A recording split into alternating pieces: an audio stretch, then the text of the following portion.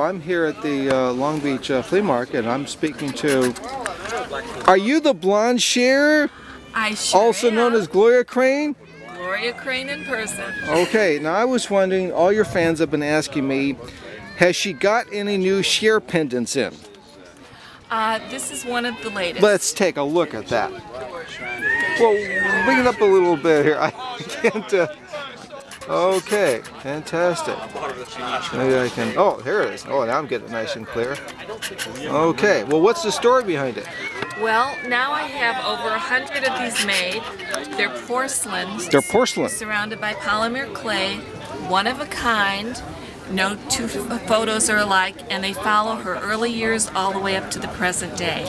and I've got them in a notebook that, that displays nine at a time on a page. Well, boy. And I would love to bring them out here. I am just afraid of the What? the heat, maybe. Oh, the police might... No, the heat. Oh, the temperature. Oh, temperature. okay, because when you say the heat, that's the first thing that I think Because I wouldn't want them to buckle. Or. Oh, they, they might buckle in the heat. well, they do in the drying process. They take 10 days to make. 10 days. Each one. Wow. You have to dry them very slowly. And the price of the materials has gone up, so I think I'm finished making all the ones I'm going to make. But I've got a beautiful display. Uh, I, I predict that that's not going to be the case.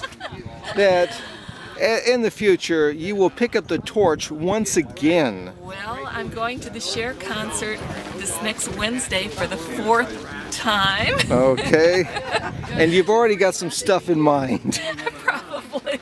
Yeah, I didn't think that would, uh, they'll never do that again. Would uh, The reason why I say that with such certainty is that when people tell me they'll never do that again, they're already planning to do it again. I should I should never say never. There you go. That's a reasonably, reasonably safe bet.